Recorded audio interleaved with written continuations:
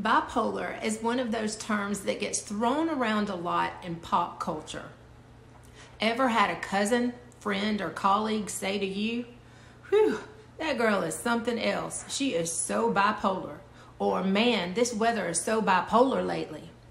Well, as a mental health provider, when I overhear something like this, I get this feeling inside of me. The same kind of feeling that people often get when they hear someone scrape their nails on a chalkboard.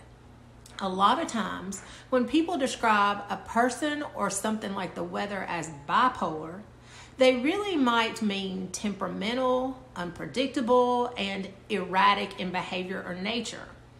However, when the term bipolar is incorrectly used, I believe it contributes to confusion and trivializes a serious mental disorder. So, hey, I'm Dr. K, a psychiatrist in the Southeast, and I've been posting content to help provide education about mental health and mental illness.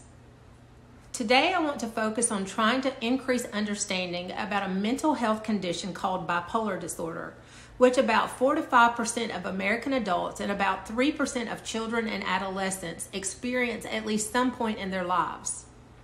I specifically want to focus on describing the manic or hypomanic phase of the condition so that the general public can understand what criteria we as mental health providers use to diagnose the disorder. So, if a person has bipolar disorder, then that person has a pattern of dramatic shifts in mood, energy, and activity that clearly demonstrates two poles or distinct extremes. Now, let me help you understand this. These shifts in moods are far more severe than the normal ups and downs everyone experiences as a result of just living life. No, these mood shifts are so significant that they affect a person's ability to carry out their day to day activities. Now, one extreme or pole is depressed mood.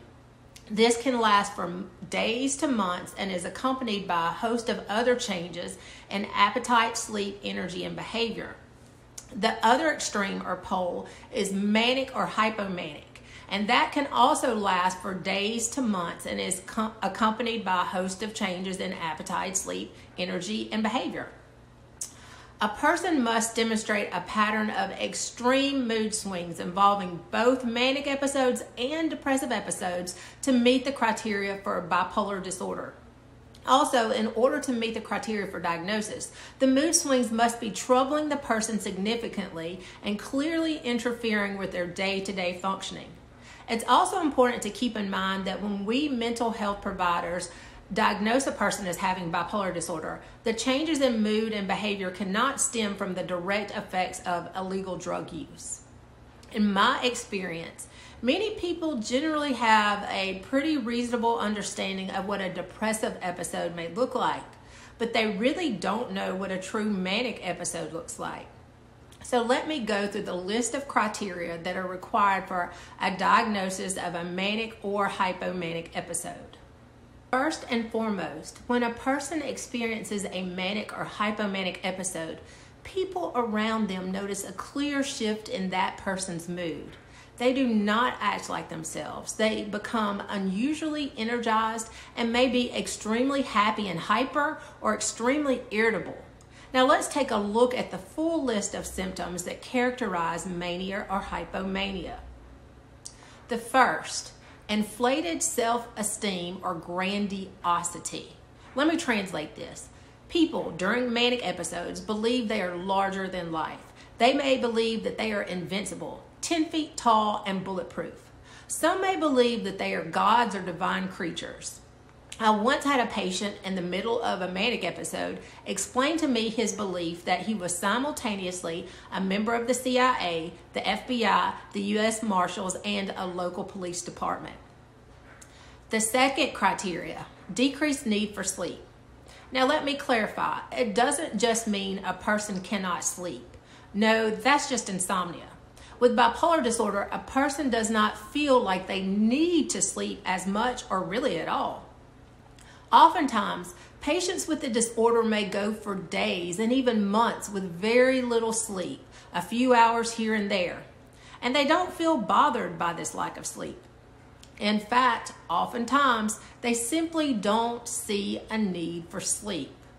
For less severe episodes, patients may still be able to sleep, but instead of sleeping for six to eight hours, they sleep for two to four hours and don't complain about feeling tired or sleepy. They just don't perceive the need for much sleep. Another criteria increased talkativeness. And what I mean is that words just seem to pour out of a person who is experiencing mania or hypomania. They talk continuously and may be hard to interrupt. It may seem that they cannot release the words from their mouth fast enough. Another criteria racing thoughts. Patients who are in a manic phase of illness feel as though their minds are all over the place and that the wheels are constantly turning in their heads and that their minds jump from subject to subject to subject and cannot continue with a single train of thought. Related to that is another criteria distractibility. Patients experiencing mania or hypomania have real difficulty staying focused on what's most relevant.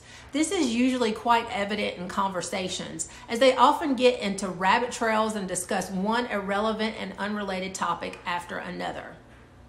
Another criteria, significant increase in activity levels. Patients may start multiple new projects at one time, clean the entire house in one night, attempt to start new organizations, and make countless and unusual posts on social media I've had patients spend night after night filling one notebook after another with writing, but the majority of what they've written is nonsensical or gibberish.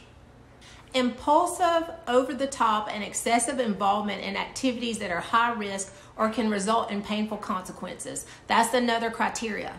For example, patients in a manic phase may make multiple large purchases with their credit cards. I once had a patient who attempted to charge two motorcycles at once to his credit card. Patients may also become hypersexual and engage in reckless sexual activity. Now, in order for this to be considered a true manic episode, a person must experience or display three to four of these symptoms, and they must last for at least a week or result in hospitalization because of the severity of symptoms. It's not uncommon for people experiencing mania to require hospitalization because their behavior can be so impulsive and reckless that it endangers themselves or others. Hypomania is defined as a less severe version of mania. Those who experience hypomania may experience the same symptoms as I described earlier, but hypomania usually lasts for shorter periods of time and does not require hospitalization. People experiencing hypomania are not as impaired in their functioning as those experiencing mania and sometimes may enjoy the experience. Also, in my clinical experience, people with hypomania have more insight. And by insight, I mean understanding and awareness of what's going on with them while it's happening. However, people experiencing true mania have little to no understanding or awareness that they are experiencing a manic episode and may have very little remembrance, if any, of events that occurred during the episode. Now, during such episodes, people are truly not themselves, and after the episode, they may feel embarrassed or ashamed of what they did during the manic phase. All right, guys, that's the end of the session for today. I hope this content has shed some light on things you may not have fully understood or appreciated about the manic phase of bipolar disorder. I hope I've helped you understand that bipolar disorder is considered a serious mental illness. I really believe that those people who struggle against this illness and still find ways to thrive are truly courageous and heroic individuals. Folks, let's make it our business to understand mental illness and those who struggle against mental illness. I'm Dr. K, and this has been Mental Health Plain Speak. And remember, be kind, for everyone you meet is fighting a hard battle.